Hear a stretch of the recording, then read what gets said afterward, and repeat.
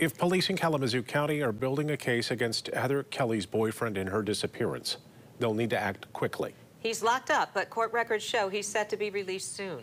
Target 8 investigator Ken Kolker is breaking new developments in the search for the missing mother of eight. Federal court records show that Heather Kelley's 37-year-old boyfriend, identified in search warrants connected to her disappearance, is locked up at the Newaygo County Jail, but he is set to be released in late April. Target 8 is not identifying the boyfriend because he has not been charged in this case. Court documents show he was wearing a tether and had been finishing up a federal sentence at the KPEP halfway house on Chicago Avenue for a 2010 cocaine conspiracy that included a murder for hire plot. The halfway house is two miles from where Kelley's burned car was found. The car had blood and human hair in it. DNA test showed the blood was Kelley's. On December 11th, hours after the car was discovered, the boyfriend went AWOL from KPEP and ditched his tether. He was arrested three days later. In a letter the boyfriend recently wrote to his federal judge, he gave another reason for going AWOL.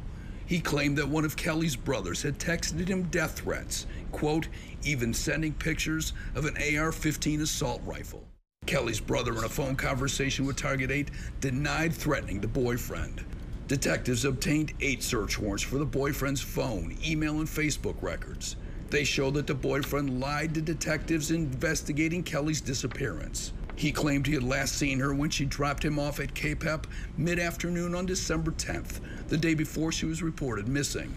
But phone records and GPS from his tether show they were together at the Park Club, a private dinner club in downtown Kalamazoo later that night. He worked there as a busboy. Records show his phone was turned off after that, but that it was later tracked to the area of East Michigan Sprinkle, near where her car was found. They also show that his tether went dead.